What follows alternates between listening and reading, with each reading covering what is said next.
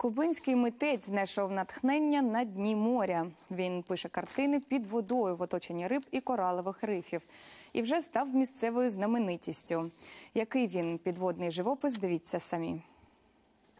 На шестиметровій глибині в мальовничій бухті Кочіно спричаїлася творча майстерня Сандора Гонсалеса.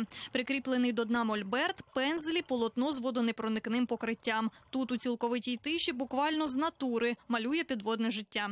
Уже понад шість років.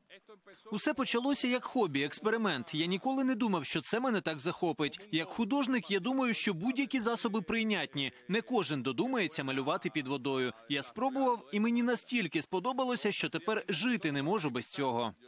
Каже, коли занурюється, ще й гадки немає, що малюватиме. Натхнення приходить вже під водою. За якихось півгодини картина готова. Працює митець під пильним наглядом не лише морських мешканців, а й дайверів.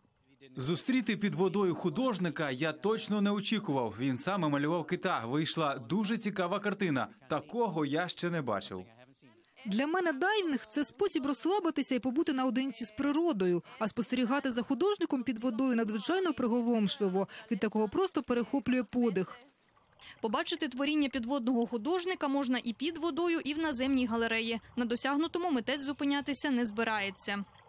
Я б хотів, щоб ця ідея розвивалася. Хочу передати її молодому поколінню, щоб вона не залишалась лише моєю. Було б чудово створити на Кубі урядову структуру, яка опікується підводним живописом. У світі такого більш ніде немає.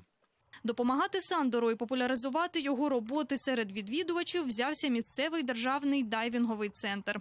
Анна Філь, новини телеканал Інтер.